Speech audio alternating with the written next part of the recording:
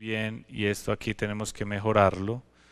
Eh, por ejemplo, me decía Ivonne eh, un poco del tema de que en los, en los que ya tenemos construidos hay muchos muros y muchas divisiones y estos nuevos ya eh, son un poco más amplios sin ninguno sin casi sin limitaciones para, para nuestros niños entonces ese ha sido más o menos de una forma sencilla como el proceso el cual llegamos a crear este tipo de, de espacios. Pero estos son los nuevos. La ciudad tiene toda otra oferta de infraestructuras que hemos, pues hemos, para generar estas coberturas vamos contratando, pero vamos también generando observaciones de lo existente para ir de pronto modificando poco a poco, porque igual son jardines para unos 300 niños más aproximadamente, por lo tanto eh, tendríamos que construir eh, miles de jardín infantil. Entonces lo importante es ir fortaleciendo la oferta actual, consolidándola, eh, haciendo observaciones y yo creo que la ciudad que apenas está iniciando en este proceso pues va a mejorar significativamente pues la oferta y los espacios para, para, los, para los niños y niñas. Por eso hace poco eh, tuvimos la oportunidad precisamente de estar aquí con el profesor Tonucci de la ciudad de los niños precisamente revisando absolutamente todo esto con él, porque la ciudad comienza también a partir de hace un mes a ser parte precisamente ya de esa red mundial eh, que, tenemos alrededor de las ciudades para los niños. Entonces, realmente, no sé si logré pues ahí, pero más o menos eh, explicar un poco esos temas de los espacios.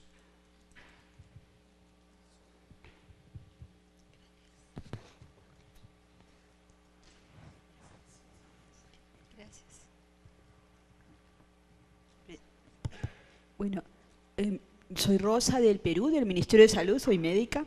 Bueno, yo felicito la, experiencia, me, da mucha alegría, además me da mucha tranquilidad, porque, bueno, no ha podido venir la representante del Ministerio de Educación de mi país, pero eh, nosotros venimos haciendo un esfuerzo ciertamente por la primera parte, ¿no?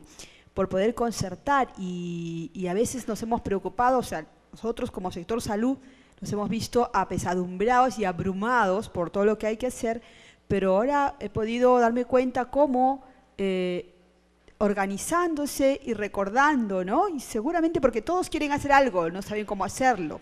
Y entonces esta experiencia, por lo menos a mí, me muestra este camino, ¿no? Nosotros hemos empezado con un tema de aseguramiento del financiamiento y por ahí va mi pregunta, porque resulta que ciertamente los adultos nos comprometemos con facilidad y con mucho, mucha emoción, ¿no? Con los niños, pero el asunto del financiamiento a veces no, no es real.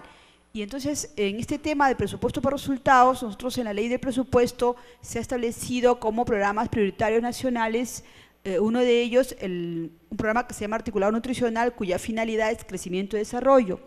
Y asimismo hay un, también una, en la ley de presupuesto se ha establecido Ah, bonos para los municipios que trabajen a favor de, la infancia, sobre todo de la primera infancia. Sin embargo, no teníamos herramientas ni cómo decirles ¿no? Qué es lo que tienen que hacer. Supongo que harán varias pasantías por acá los alcaldes.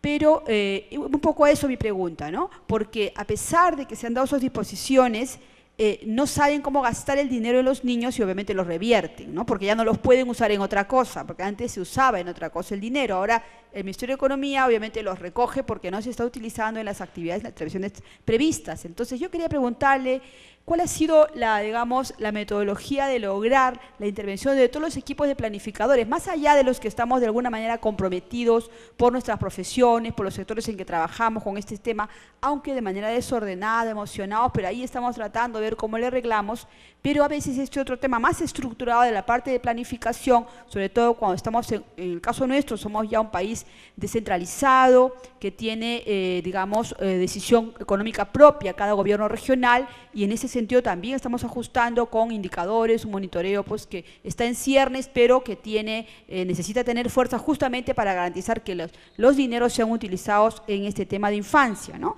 Entonces, por ese lado yo quería escuchar y obviamente reiterar esa felicitación y esa tranquilidad que nos da como sector salud, que a veces nos hemos sentido en el caso peruano medio solos en la primera infancia, pero que ahora, después de esta reunión, seguramente nos vamos a ordenar y tendremos un camino más fácil, ¿no? Siempre es mejor caminar por la ruta que otros lo han hecho con éxito y seguramente en algún momento mostraremos también algunos logros que podamos encontrar en ese, camino.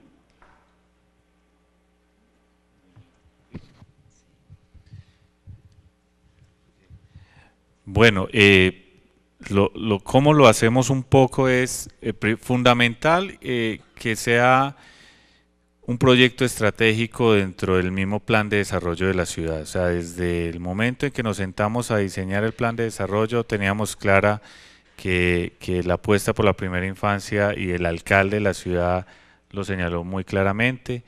Eh, dos, el, yo creo que es fundamental eh, que desde la misma primera dama, que es una gran gerente social, se puede decir así, pues eh, también asuma esa dirección. Pero fue interesante, por ejemplo, nosotros tenemos, este programa tiene una junta directiva en la cual estamos todos los secretarios y mejor dicho ahí rendimos cuentas eh, absolutamente todos. El programa hace parte de dos, de dos líneas especialmente del mismo plan de desarrollo.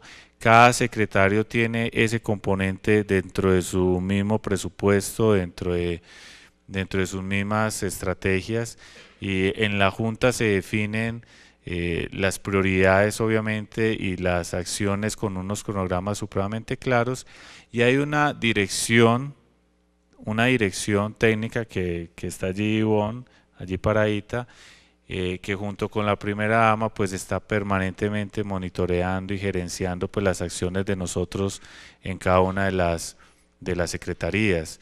Eh, es, un poco complejo porque somos de distintas áreas de bienestar social, de, deportes, de salud, de educación, de arquitectos, ingenieros como la empresa de, que construye todo eso, pero en la Junta está el secretario de Hacienda, por ejemplo. Entonces, la verdad, es un proyecto que ahí sí sea, porque a veces cuando uno dice que que es transversal a la alcaldía, eso suena como, como, una, como un sueño, pero aquí es transversal con toda seguridad. Eh, todos eh, lo hace, parte del, del, día a día nuestro y hace parte de lo que le está apuntando la ciudad en general. Por lo tanto, no es un programa aislado o es un programa de un secretario. Eh, no hay celos entre los secretarios, la verdad, realmente hay un, porque eso se ve mucho en los gobiernos, de que un secretario se quiere destacar más que, que el otro. Eh, realmente es un trabajo de un verdadero equipo eh, que tenemos allí distintos secretarios, pero que la verdad cuenta con una dirección y una gerencia que nos está impulsando todos los días y que nos está pidiendo resultados todos los días, que porque a veces el día a día lo va alejando uno hacia otros temas, aquí definitivamente eh, es un día a día que tenemos claro que esa es una que esa es una prioridad. Además, para lograr coberturas tan grandes eh, implica unos acuerdos administrativos muy muy fuertes, muy sólidos y unos acuerdos presupuestales muy muy fuertes. Es que el rollo de llegar a esas coberturas es sostenerlas. Es que ahora que estamos eh, precisamente en este momento estamos eh, eh, ya diseñando el presupuesto de, del 2011. La primera parte es sostener esas, esa gráfica que tenemos allí. La, sostener las coberturas implica unos acuerdos presupuestales muy importantes y supremamente claves, porque qué tal no sostener precisamente esas coberturas. Entonces eso, como se dice técnicamente, es un arreglo institucional absolutamente marcado en nuestra, en nuestra alcaldía y que en el cual todos los días estamos trabajando para, para ello.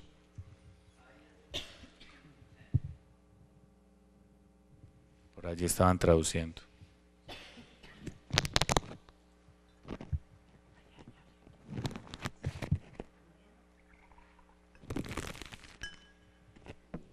Por allí I hay would una like, like to pregunta.